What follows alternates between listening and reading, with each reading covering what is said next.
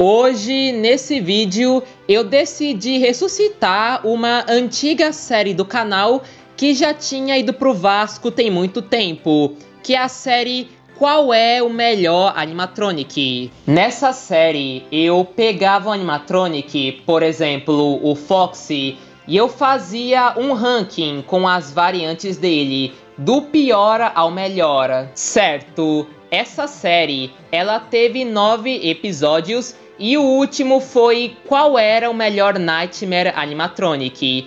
Era uma série que vocês gostavam bastante. E hoje eu decidi fazer um remake do primeiro vídeo, mas sei lá, caso vocês gostem, talvez eu faça um remake e continue essa série de novo, se vocês quiserem, é claro. Então, nesse vídeo, eu decidi fazer um remake de qual é o melhor Bonnie de Five Nights at Freddy's. Então, sem enrolação, se você gostar do vídeo, não esquece de deixar o like, inscrever e compartilhar, porque isso ajuda imensamente esse canal. Se você quiser que esse canal continue vivo, não esquece de fazer isso. Olha, primeiramente duas coisas.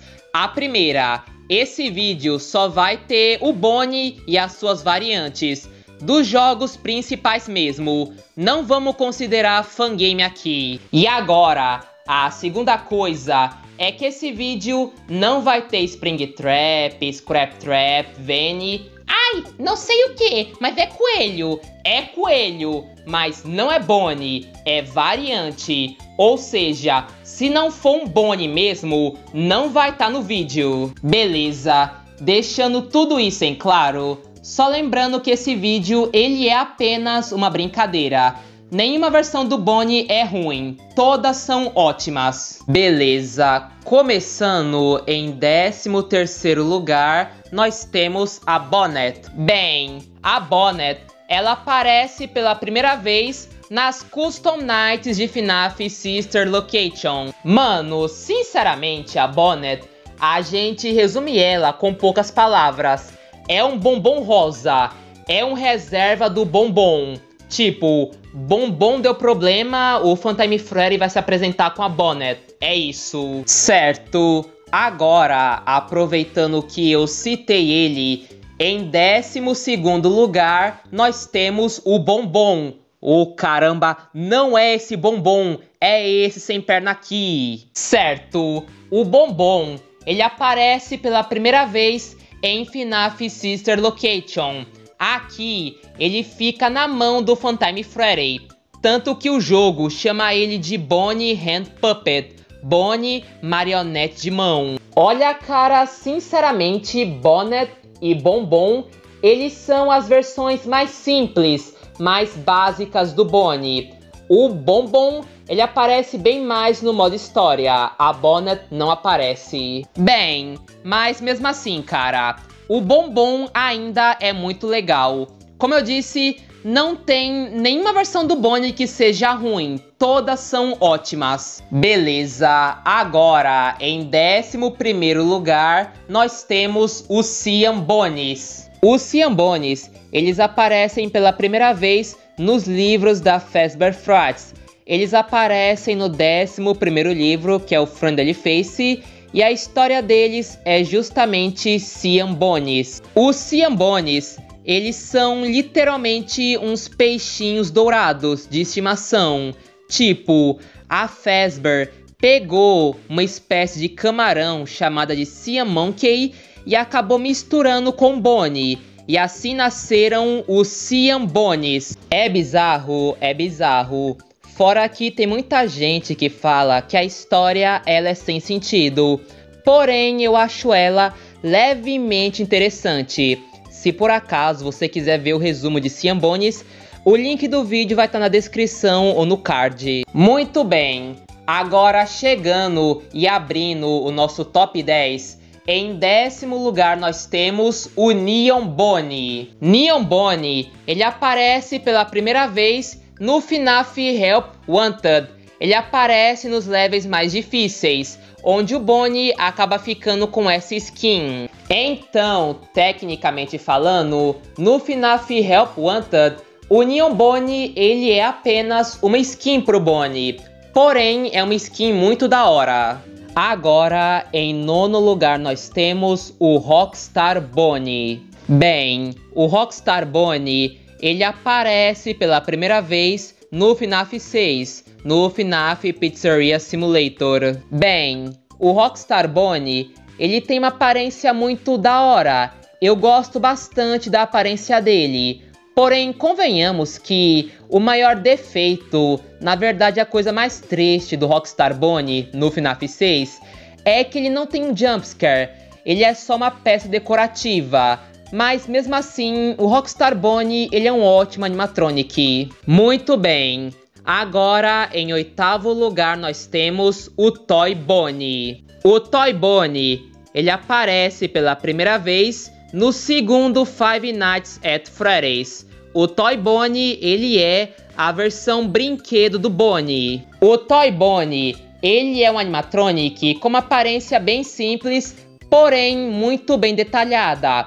Afinal, do FNAF 2, o Toy Bonnie ele foi o primeiro animatronic modelado pelo Scott Calton. Certo. Agora, em sétimo lugar, nós temos o Jackal Bonnie. Jackal Bonnie, ele surge pela primeira vez no FNAF 4, na edição de Halloween, onde o Jackal Bonnie ele acaba substituindo o Nightmare Bonnie. Ou seja, Jackal Bonnie ele é uma skin de Halloween pro Nightmare Bonnie. Mano, sinceramente, eu gosto bastante dessa aparência do Jackal Bonnie. Como se o animatronic ele tivesse pegando fogo. É muito da hora. Beleza, dando prosseguimento, agora em sexto lugar nós temos o Spring Bonnie. Bom, o Spring Bonnie ele aparece pela primeira vez nos minigames do terceiro FNAF. Inclusive, é nos minigames que a gente vê pela primeira vez o acidente Spring Locks de William Afton dentro do Spring Bonnie. A aparência do Spring Bonnie, ela é muito da hora. Fora que o que deixou o Spring Bonnie mais popular é o fato que ele foi o traje que William Afton utilizou em 85. De longe, Spring Bonnie é uma versão do Bonnie muito da hora. Muito bem, Agora chegamos no nosso top 5 e em quinto lugar nós temos o Shadow Bonnie. O Shadow Bonnie, ele aparece pela primeira vez no segundo FNAF. O Shadow Bonnie, ele é um animatronic secreto. Caso ele apareça, ele vai acabar crashando o seu jogo. Mano, sinceramente, eu acho muito da hora essa aparência do Shadow Bonnie essa aparência completamente negra com os olhos e os dentes branco. Deixa o personagem muito da hora. Inclusive, o Shadow Bonnie, ele tem uma história de origem na Fazbear Frats, que é o Hide and Seek. Que nem Ciambones, o link para esse vídeo vai estar tá na descrição ou no card. Beleza. Agora, em quarto lugar, nós temos o Nightmare Bonnie. Bem, o Nightmare Bonnie, ele aparece pela primeira vez no FNAF 4. E cara, sinceramente, a aparência do Nightmare Bonnie, ela é incrível.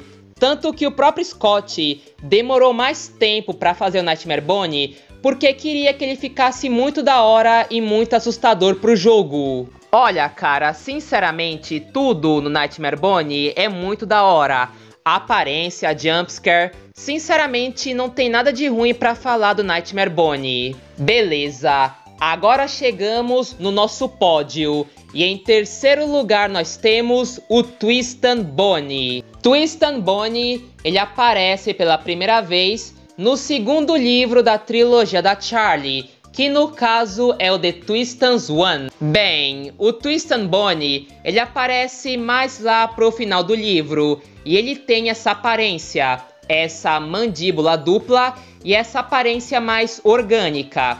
Cara, sinceramente, Twistan Bonnie, ele é incrível. Mas agora, a medalha de prata, o segundo lugar vai pro Widry Bonnie. Bem, o Widry Bonnie, ele aparece pela primeira vez no segundo FNAF, e ele tem essa aparência de cara de pau.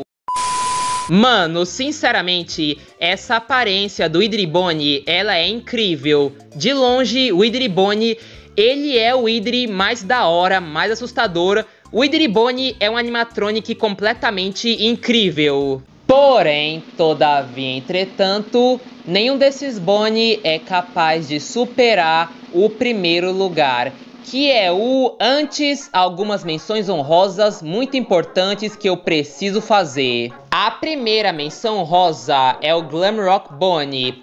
Por mais que ele apareça na DLC do Security Breach, eu sinto que ainda tem muito pouco informação sobre ele. Por isso que eu preferi colocar o Glamrock Bonnie como menção honrosa. A segunda menção honrosa são as versões do FNAF World, as pelúcias. No caso, Adventure Bonnie, Toy Bonnie, Widry Bonnie, Shadow Bonnie. E agora, por último, a terceira menção honrosa são as skins do FNAF AR. Por mais que eu goste bastante dessas skins, eu preferi deixar como menção honrosa, afinal, já tem Bonnie demais nesse vídeo. Mas agora, em primeiríssimo lugar, nós temos Bonnie the Bunny. Bonnie o Coelho. Bonnie do primeiro FNAF. Sinceramente, cara, o Bonnie do primeiro FNAF, ele é incrível. Não existe nenhuma outra versão do Bonnie que consiga superar esse cara. Ah, mais uma coisa eu já ia me esquecendo, mas também temos o William Bonner. É isso, tchau.